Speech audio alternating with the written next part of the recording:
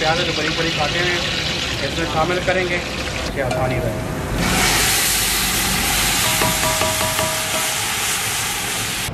तकरीबन गल गया है। तकरीबन नमक है, क्योंकि दो किलो तकरीबन लोबिया हमारा। दो टेबल स्पून डेढ़ डेढ़ टेबल स्पून बसमीम आज हम होटल में लोबिया भी तैयार कर रहे हैं तो उसकी भी वीडियो बनाते हैं आपके लिए। ताकि आपके लिए बनाने में आसानी हो। तो जो जो चीज़ें मैं डाल रहा हूँ साथ साथ आपको बताता चाहता हूँ। तो हमने आयल ले लिया तकरीबन एक लीटर क्योंकि हमारे पास लोबिया दो के जी। आयल हमने तकरीबन दो, एक लीटर ले लिया इसकी वजह यह है कि हमारे पास लोबिया तकरीबन दो के जी है। तो प्याज इसमें शामिल करेंगे, एक लीटर हमारा आयल है और ये तकरीबन तीन से चार अदर प्याज जो बड़ी बड़ी खाते हैं, इसमें शामिल करेंगे। हल्का सा इसको ब्राउन करेंगे और इसमें टमाटर का पेस्ट डालेंगे। कटे हुए टमाटर नहीं डालेंगे। क्योंकि लोबिया में अगर हम पेस्ट डालेंगे तो उसकी ग्रेवी बहुत ज़बरदस्त बनेगी, बहुत अच्छी बनेगी। इसलिए साथ साथ बताते हैं। तब तक के लिए। तो आप देख सकते हैं कि प्याज हल्का सा सुनहरा होना शुरू हो गया। थोड़े थोड़ा सा इसको और करेंगे, ताकि रंग इसका चेंज हो जाए। प्याज बेहतरीन सारा, एक जैसा तकरीबन सुनहरा हो गया। अब हम इसमें पेस्ट टमाटर डालेंगे जो हमने कर लिए हैं और इसी में हमने अदरक और लहसुन भी डाल के ग्रैंड कर दिया ताकि आसानी रहे।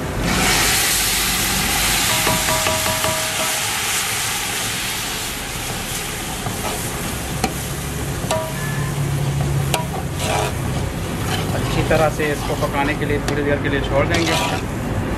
फिर इसमें मसाले शामिल करेंगे और सबसे आखिर में इसमें लोबिया शामिल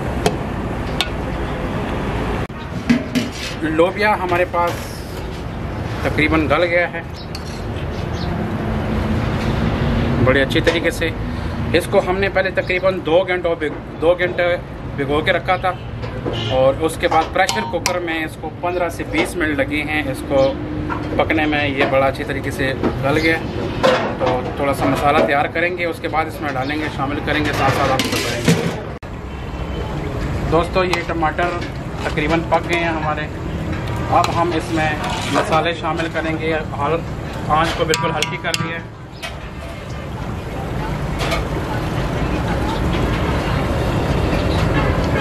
दो टेबल स्पून तकरीबन नमक है, क्योंकि दो किलो तकरीबन लोबिया हमारे पास, उस हिसाब से कम ज़्यादा बाद में चेक करके और डाल लेंगे। अगर ज़रूरत कोई लाल मिर्च भी तकरीबन दो टेबल स्पून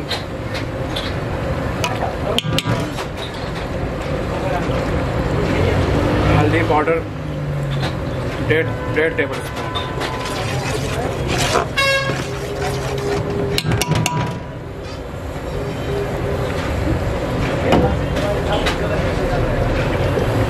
मिक्स मसाला एक टेबल स्पून अब मसाले को अच्छी तरीके से भूनेंगे। पाँच से छः मिनट इसको लगेंगे भूनते हुए। बिल्कुल हल्की आँच है ताकि पतीला जल ना जाए नीचे से।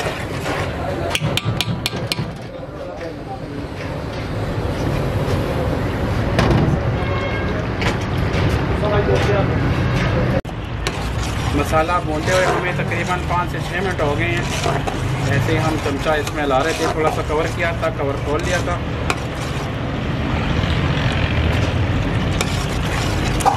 तो ये मसाला बिल्कुल अच्छी तरीके से बन गया है।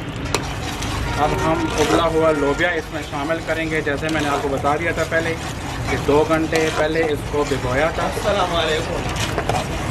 फिर प्रेशर कुकर में, उसको पच्चीस, तीस मिनट लगे हैं उसको उबालने में। मसाला चूँकि तैयार है। और ये आप देख सकते हैं कि इसका पानी मैंने नहीं निकाला। ये जो पानी होता है, ये बड़ा ज़बरदस्त इसका जायका बनता है और गरीबी भी बनती है। तो अब हम इसमें शामिल करेंगे।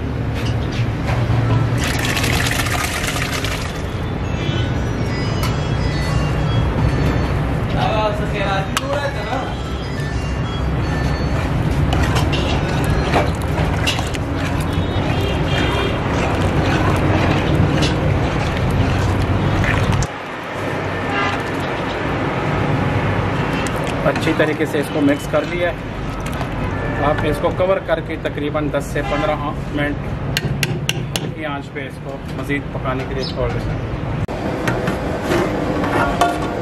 अच्छी तरीके से इसको उबाल आ गया है 10 से 15 मिनट हो गए हैं। अब हम हाँ आज थोड़े से टेस्ट करेंगे। ताकि मुकम्मल उबाल आ जाए इसको।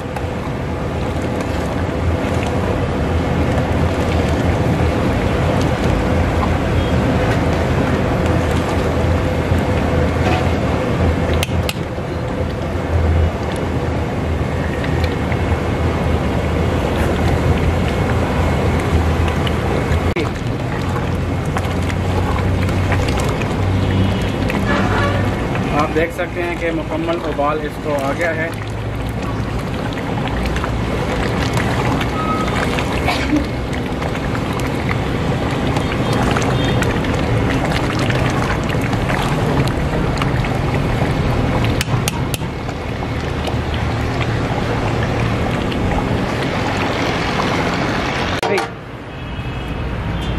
तो दोस्तों अब इसमें हरा धनिया ऊपर से शामिल करके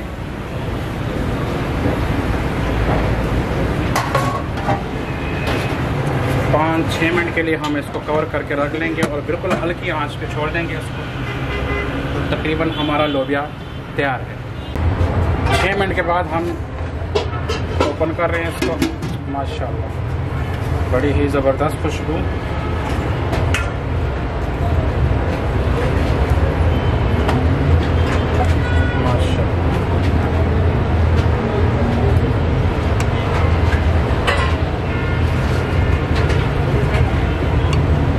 दोस्तों देखा आपने कि लोबिया बहुत ही ज़बरदस्त ग्रेवी वाला लोबिया बन गया है। आ, हम अभी मज़ीद भी इंशाल्लाह कुछ बना रहे हैं। तो कोशिश करते हैं कि उसकी वीडियो भी आपके साथ आप शेयर करें। तो फाइनली आप हमारे चैनल को सब्सक्राइब लाजमी करें बेल आइकन को भी दबाएँ। हमारी वीडियो को लाइक करें कमेंट करें अच्छे बुरे जैसे भी आपके जहन में आते हों। अगर आपको हमारी वीडियो पसंद है तो कमेंट लाजमी कीजिएगा। हमें अपने अच्छी आरा से भी मुस्तफ़ होने के लिए हमें अपने कमेंट लाजमी कीजिएगा।